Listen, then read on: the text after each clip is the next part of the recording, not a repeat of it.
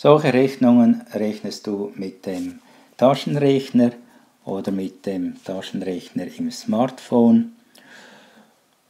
Überprüfen musst du sie aber trotzdem im Kopf. Und da zeige ich dir die Überschlagsrechnung, wie man solche Rechnungen einfach im Kopf lösen kann.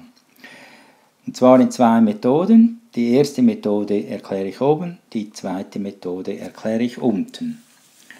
Bei der ersten Methode, da rundet man mal die Zahlen einfach ab. Auf, grob auf den nächsten zwei Tausender.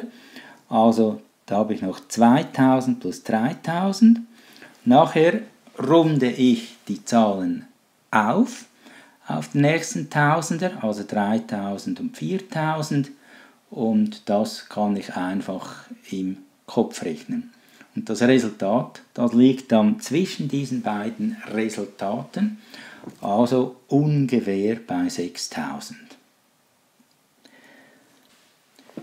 Die zweite Methode ist mir eigentlich noch sympathischer. Da rundet man einfach die Zahlen auf oder ab, je nachdem, was nach dem Tausender kommt.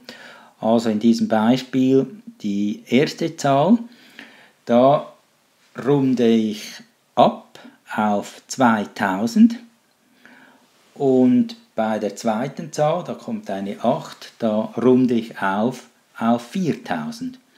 Also muss ich da nur noch rechnen 2000 plus 4000 gibt 6000.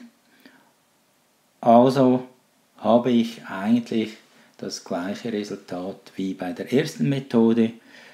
Zwischen 5 und 7 ist auch 6000 und unten gibt es auch ungefähr 6000 als Überschlagsrechnung, als Resultat.